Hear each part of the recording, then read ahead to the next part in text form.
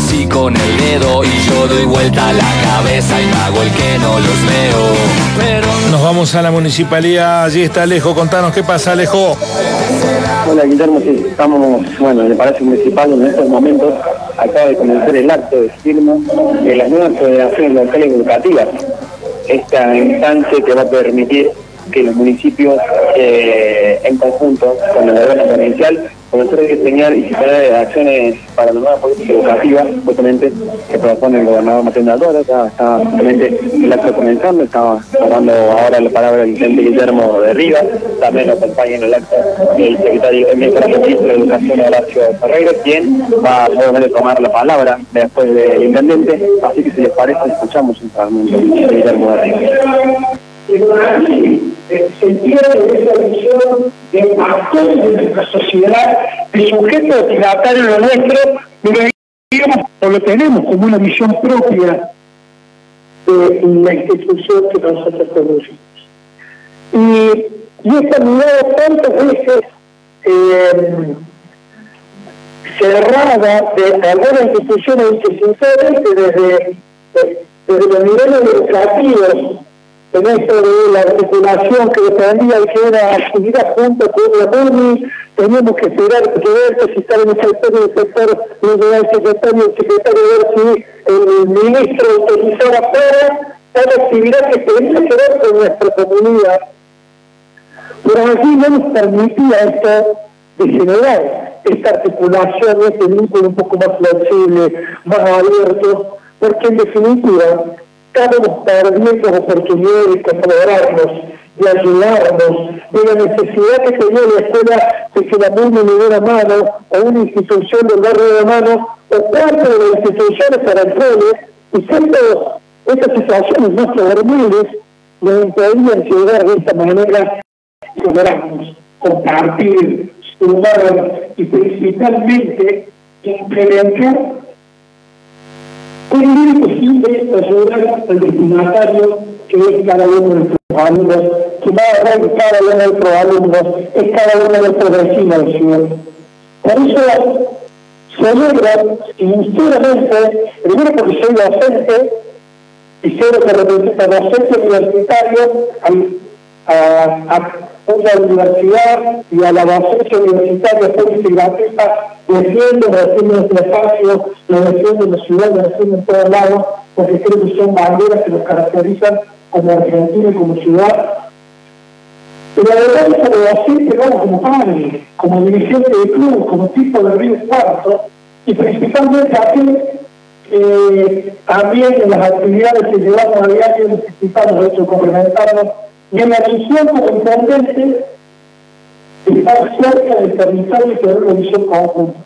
Por eso siempre promovido la participación ciudadana, la descentralización municipal, el articular con los consejos barriales, y creo que esto del FIE nos, nos va a complementar, nos va a permitir estar mucho más unidos, pero principalmente mucho más con este brazo que ayuda, que sostiene y tener esta mirada amplia en el territorio. Porque nos pasa también con las vecindades, cuando hablamos la comunidad educativa, porque ¿cuál es la comunidad educativa? La comunidad educativa del sur del norte de Siria o del colegio que pueda quedar en la plaza. Y no, no podemos ser todo igual. La realidad social es distinta. La realidad territorial es distinta. La realidad de las expectativas de cada uno son distintas. Y el único punto que podemos mejorar es complementarnos. Y en ese complementarnos es comprometernos como municipio a involucrarnos y articular de manera mucho más profunda, de manera mucho más territorial, social, que lo que corresponde en cada uno de estos lugares. Nosotros tenemos el área de educación, el de que está, que está ahí, un enorme desafío territorial, y así lo trabajamos pero creo que esto es una enorme oportunidad para hacerlo y trabajar y potenciar y trabajar el uno con el otro. Por eso celebro que esa es la que cuando hablamos este concepto de comunidad educativa, nuestros matriculados y familia, porque hablamos de la comunidad educativa hacia otro poder de institución. Yo creo que esto nos invita al enorme desafío de pensar que la comunidad educativa realmente seamos todos y seamos todos en serio. Muchas gracias, tenemos mucho laburo para adelante, pero vamos a encontrar una MUNI, un intendente y un equipo absolutamente comprometido con la educación y principalmente con el desafío de evitar la deserción escolar, de que tengan un municipio que los ayude, que en vez de salir ustedes a educar a los chicos que para allí pasaron, cuenten con una MUNI que esté comprometido para que fortalezcamos el nivel educativo, pero para fortalecer el nivel educativo y para fortalecer nuestra educación, los chicos tienen que estar en la escuela. Cuenten con nosotros y que esto la una de las cosas. Muchas gracias a todos. Con la palabra del intendente municipal, que lo puede realizar doctor Jesús Rivas. Y a continuación escuchamos al señor ministro de Educación de la provincia de Córdoba, doctor Horacio Correa. Bueno, primero, buenos días, un gusto de poder estar acá. Primero, disculpas, intendente, por llegar un poco más tarde eh, a la reunión. Eh, gracias, Nora. Gracias también a la representación en Río Cuarto del gobierno. También decirles que muy contentos de ver hoy acá a funcionarios municipales, ver al Consejo de Liderantes, eh, y seguro me voy a olvidar de alguien, eh, digamos como tal, a los supervisores que también están acompañando, algunos directivos que, conozco porque he podido hablar con ellos. Eh, veo también a gente de la comunidad, recién se hablaba de los clubes, se hablaba de la, de las bibliotecas, de todos aquellos que hacemos la comunidad educativa. Y si me permite, intendente, voy a tomar el concepto de comunidad educativa que vos utilizaste y es un concepto muy interesante, porque a mí me gusta definir la comunidad educativa como aquel espacio donde se encuentra el hecho educativo, pero es eh, más amplio que la escuela, pero menor que la sociedad global. Esto implica ese encuentro de diálogo y ese compromiso que es hacia adentro y es hacia afuera. Eh, en ese contexto, uno escribe el texto educativo. Cada escuela que hoy está acá presente va construyendo su propia narrativa, con sus proyectos, con sus logros, con sus desafíos. Y hoy tenemos que decirles que los desafíos siguen siendo arduos en un contexto que se definió recién como complejo, pero a su vez controvertido.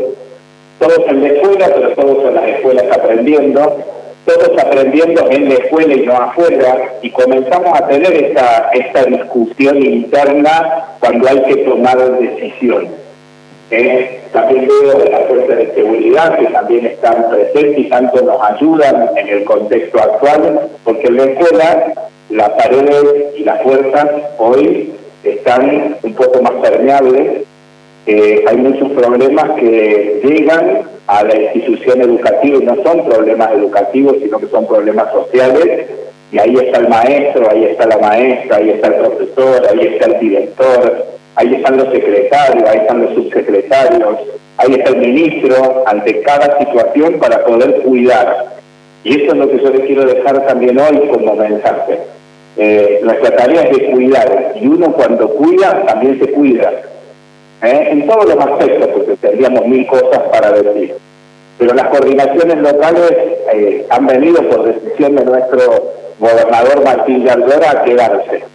A quedarse porque ya hoy son 389 las coordinaciones locales y mañana ya vamos a superar ese número y vamos a tener ya las 392, si no me equivoco, porque firmamos dos nuevas coordinaciones locales y así vamos avanzando, no con una imposición, sino con un diálogo con cada intendente, con cada presidente de comuna para construir el proceso educativo local que vaya de la mano de lo que este municipio quiere. Bueno, ahí está Alejo la palabra del ministro de Educación de la provincia, el doctor Horacio Ademar Ferreira. Cuesta, cuesta bajar a tierra la abstracción que implica hablar de coordinaciones locales educativas. Eh, voy a poner en contacto un poquito esta historia porque la verdad que amerita hacerlo.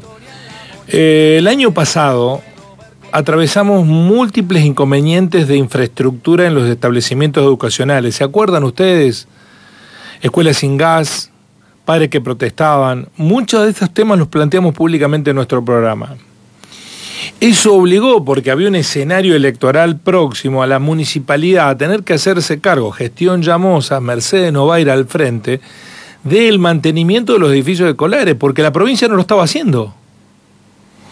Había un responsable de eso, que era el Centro Cívico de Río Cuarto, manejado con Carlos Gutiérrez, y no lo estaban haciendo. Estaban llegando tarde a todos los problemas. Había muchas actividades escolares suspendidas porque los baños estaban rotos, porque no había gas, los días fríos de invierno se quejaban los padres.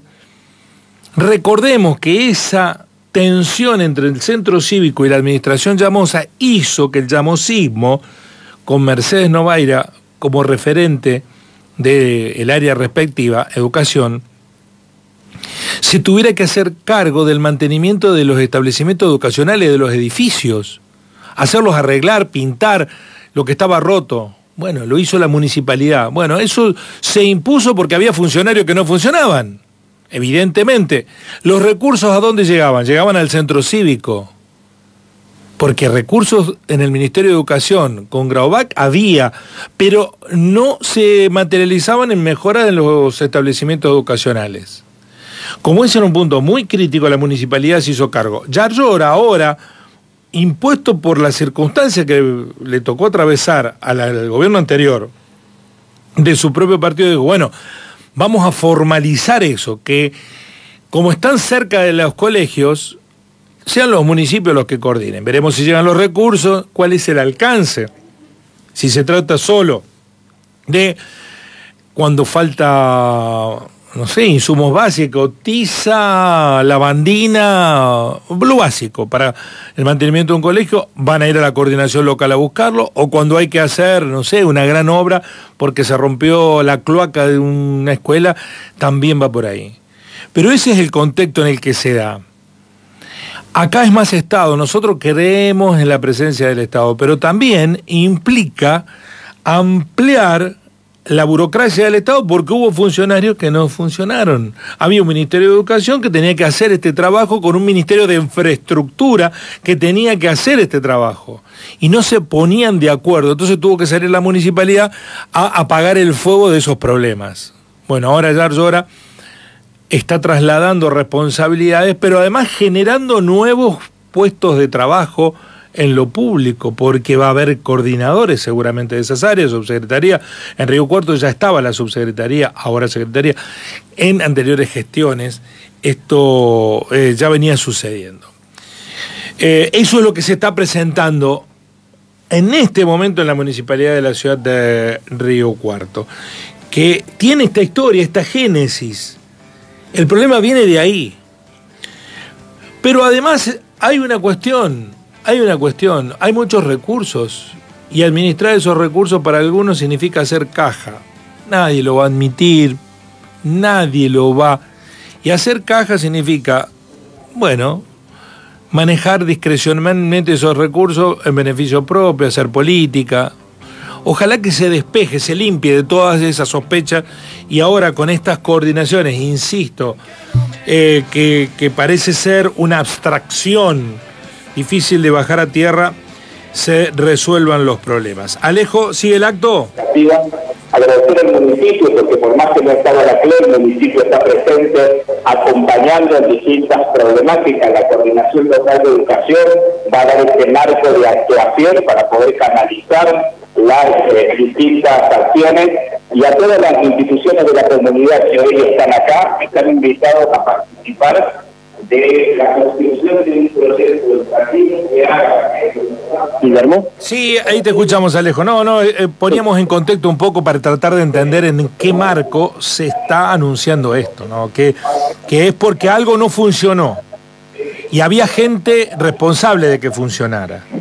Eh, en la eh, administración del centro cívico en la gestión anterior. Ojalá que se allane el camino para que las escuelas públicas no, no sean postergadas. Celebramos la participación del Estado en el mantenimiento de las mejores condiciones de la educación pública, pero también no podemos dejar de marcar que si se llegó a este punto porque hubo funcionarios que no funcionaron, recursos presupuestarios que no se aplicaron. ¿Algo más, Alejo? Sí, Guillermo, bueno, me consultaba Vanessa, de línea privada, si hemos visto la presencia de Mercedes Novaira, la, bueno, es eh, bueno, cercana a Jumel Damosa, que bueno, esta mañana ustedes comentaban en el pase que podría bueno, volver a ocupar algún lugar en el centro cívico aquí de Río Cuarto, bueno, no hemos visto su presencia, no la hemos visto, hay mucha gente, eh, pero bueno, ella no, no está presente. Bueno, veremos. Está Oberti en representación de Llamosa, porque Llamosa tiene otro acto a esta hora por el tema del boleto metropolitano. Gracias, Alejo. Ese será nuestro próximo destino. Ya volvemos. Por acá. Abrazo.